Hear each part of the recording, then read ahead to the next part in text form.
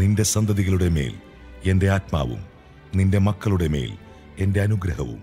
ഞാൻ വർഷിക്കും